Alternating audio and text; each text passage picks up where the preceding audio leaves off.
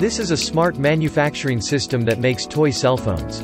We did research on it to examine the types of unconventional attacks that could be launched on smart manufacturing systems. This smart manufacturing system is completely modular. It consists of seven stations, each containing a programmable logic controller, or PLC, a human-machine interface, or HMI, and the physical machine that does the actual work, such as a robot. In this research scenario, the robot arm is not working properly. Even though there are safety limits to the machines to prevent damage in case of malfunctions, the robot arm suddenly falls near the conveyor belt. How did this happen? Let's begin by checking the Manufacturing Execution System, or MES, and seeing how the production process is running.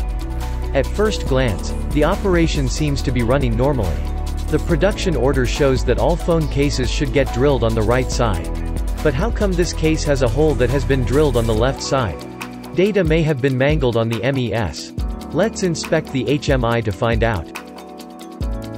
The HMI is not responding and is unable to communicate with the MES.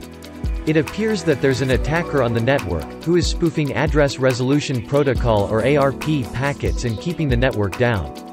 But the whole system was designed to be completely isolated, and an attacker shouldn't have been able to get in. It's possible that rogue software has been downloaded to the engineering workstation. But no, there's just an industrial add-in for the robotics development environment. This add-in comes from the vendor's app store, so it's presumably safe. Industrial app stores such as this have been gaining traction. However, we've found that not all of the add-ins in the App Store are vetted properly. For example, this add-in is apparently for research purposes only, and has no actual functions. But it was added to the App Store nonetheless. During our research, we found and reported a vulnerability in the App Store. Before the flaw was fixed, it was possible to bypass the vetting process. As a result, the add-in was immediately available for download. Now, it has complete control of the engineering workstation. However, upon checking the network logs, we see that the engineering workstation isn't performing any spoofing.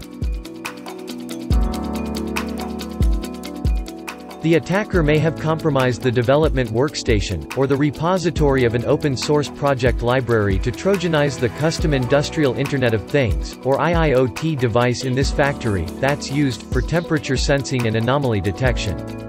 Looking at the code of the firmware though, we don't see anything suspicious. The code is just reading from the temperature sensor using the driver. It's possible that the ARP spoofing code is hidden in a trojanized library instead. This explains why the HMI got disconnected from the network and the MES. It also explains the unusual temperature readings that have been triggering emergency stops. But what about the robot? It's protected by a password. This means that an attacker would still need the password to gain access to the robot. During our research, we found and reported a vulnerable mobile HMI app. This mobile HMI exposed sensitive authentication information that could allow an attacker to reverse engineer the credentials stored in it. The attacker would then know the password to the robot, and be able to send movement commands to it. The attacker, having gained access to the engineering workstation, may have used vulnerable or malicious automation logic to send unintended movement commands to the robot or install a backdoor to control the robot from the network.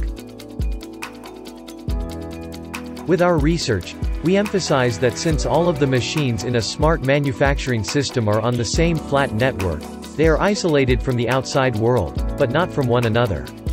This gives rise to a complex ecosystem, that has repercussions on the types of attacks that are possible in smart manufacturing systems.